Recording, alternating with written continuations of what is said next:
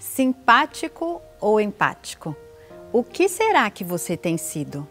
Tem muita gente por aí que acha que é empático, mas está sendo somente uma pessoa muito simpática. Muita gente até sabe as definições dos termos e até se considera empático, mas no dia a dia essa pessoa não se comporta de forma empática, e sim simpática. Ficou na dúvida? Então assista o Chai Terapia de hoje para descobrir como você tem sido realmente nos seus relacionamentos.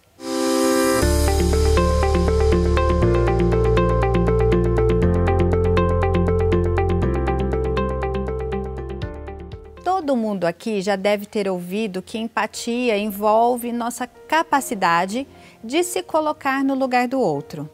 Saber disso, respeitar o outro, se compadecer do outro, imaginar o sofrimento do outro e até chorar com ele, imaginando o sofrimento que ele está passando, é simpatia e não empatia. Tudo isso tem mais a ver com se sentir próximo a uma pessoa, na forma de pensar ou sentir, do que realmente se colocar no lugar do outro.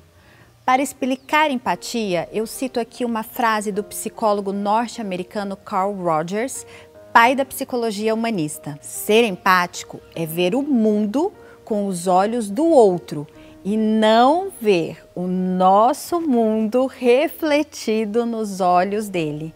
É a capacidade de ver o mundo com os olhos do outro. Ou seja, sua opinião sai, seu modo de ver o mundo sai e você se permite entrar nos olhos do outro para ver como ele está vendo a situação. Envolve menos do eu no seu lugar faria assim, eu acho que você deveria, e vai mais para um profundo interesse em saber, conhecer e entrar no mundo da pessoa. É fácil? Geralmente não porque causa um desconforto enorme sair das minhas opiniões, do meu achômetro de tudo, do que eu considero certo, errado, e me colocar em um outro modo de ver o mundo, estranho a mim. Precisa de um despreendimento de si mesmo e aceitar que eu não sou o centro do universo, que não sou o dono das verdades e que meu jeito de ver o mundo não é o único e nem o melhor eu preciso me despir, ficar nu. E vamos combinar que isso causa um certo desconforto, né? Ficar nu da presunção e da segurança da vida em torno do meu umbigo. E vestir as roupas da humildade, da aceitação e insegurança de ver o mundo por um outro ângulo. Aqui torna-se necessário a autorreflexão. Se você normalmente costuma avaliar os outros em termos de bom, mal, certo, errado, gosto, não gosto, pode ser um sinal de falta de empatia. Se você é do tipo que costuma ter um grupo bem representativo de desafetos, de pessoas que caem naquela expressão não bater o santo, ou tem dificuldades em entender o porquê das pessoas agirem de uma determinada maneira e sem perceber até começa a se afastar de pessoas que pensam diferente de você, fique atento. Pode estar precisando melhorar sua capacidade de empatia. Talvez você esteja pensando, ok, percebi que não ando lá muito empático com as pessoas, mas é meu jeito, tá dando tudo certo até agora, por que, que eu devo mudar?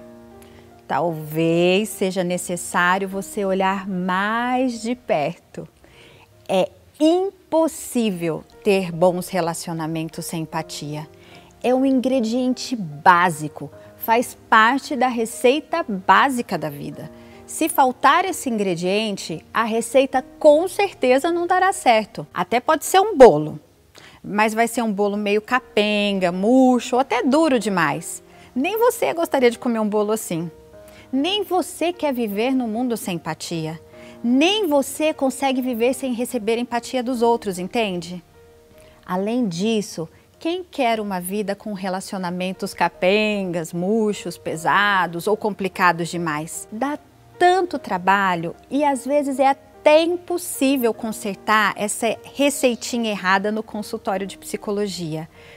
Por isso que eu digo para você que a melhor forma de ter uma família e relacionamentos fortes, positivos, calorosos, é investir nesse ingrediente fundamental chamado empatia. A boa notícia é que ninguém nasce empático ou sem empatia. É uma capacidade aprendida e, portanto, podemos desenvolvê-la diariamente em nossa vida. E sempre dá para melhorar um pouquinho também. Então vamos colocar a mão na massa aí e fazer empatia em nossos sentimentos, pensamentos e principalmente ações. E se você gostou desse vídeo, aproveite para curtir e compartilhar com quem você ama. Dessa maneira, tornamos esse conteúdo mais relevante e mais pessoas terão oportunidade de assisti-lo também. E se você quiser ouvir mais vídeos como esse, inscreva-se no canal da Igreja Unas PC. Um grande abraço e até o nosso próximo encontro.